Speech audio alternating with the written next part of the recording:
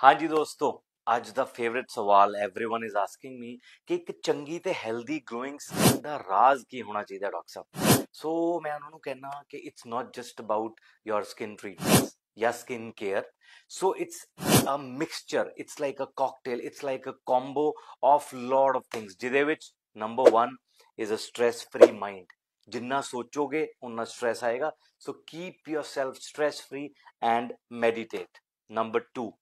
eat a healthy diet and a nice fruity fruit rich diet. Number 3 never miss your workout and keep a healthy lifestyle. Jithe you break out your sweat and your stress too. And number 4 and most important ਆਪਣੇ ਨੁਸਖੇ ਨਹੀਂ ਵਰਤਨੇ ਜੇ ਕੋਈ problem ਹੈ skin ਦੀ ਤਾਂ doctor ਨਾਲ consult ਕਰਨਾ and last but not the least ਕਿਵੇਂ ਭੁੱਲ ਸਕਦੇ ਹੋ ਤੁਸੀਂ ਸਾਡੀਆਂ ਰੀਲਾਂ ਦੇਖਣੀਆਂ ਤੁਸੀਂ ਤੇ ਇੰਜੋਏ ਕਰਨਾ ਹੈਗਾ ਐਂਡ ਆਪਣੇ ਸਟ्रेस ਨੂੰ ਘਟਾਉਣਾ ਹੈ ਵੀ ਆਲਵੇਜ਼ ਟਰਾਈ ਕਿ ਅਸੀਂ ਤੁਹਾਡੇ ਲਈ ਕੁਝ ਨਵਾਂ ਐਂਡ ਕੁਝ ਫਨੀ ਕੁਝ ਕਾਮਿਕ ਕੁਝ ਐਜੂਕੇਟਿਵ ਪੇਸ਼ ਕਰਦੇ ਰਹੀਏ ਤਾਂ ਜੋ ਤੁਸੀਂ ਸਾਨੂੰ ਫੋਲੋ ਕਰੋ ਲਾਈਕ ਕਰੋ ਐਂਡ ਕਮੈਂਟ ਕਰੋ ਬਾਏ